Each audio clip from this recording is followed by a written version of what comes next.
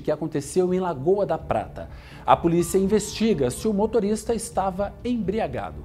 Olha só.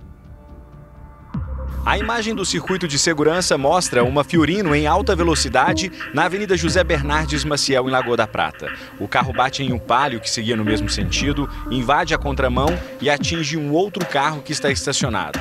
De acordo com a Polícia Militar, o motorista estava alcoolizado e, antes do acidente, se exibia nas redes sociais para seguidores, dirigindo e bebendo. Leonardo, pra onde tá indo? Ah, Leonardo, eu tô indo pra Samonte, Divinópolis, BH, só Deus. Partiu. Deus, Deus tá nosso destino. Uh, segura! O motorista fez vários vídeos. Ô, velho, esse carro é muito louco, ele não segura não.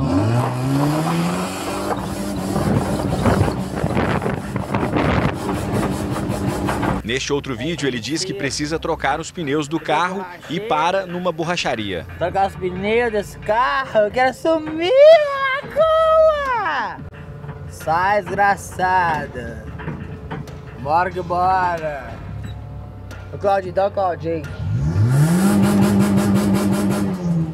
Em seguida, ele filma o veículo suspenso sem a roda direita. Ei, desgraça de vida. Tô brincando, Zé Paz. O motorista dirige pela área urbana e não se importa em manter o limite de velocidade.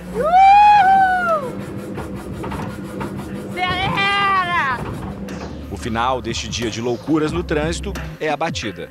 O motorista foi preso e levado para a delegacia. Olha, é tão inacreditável.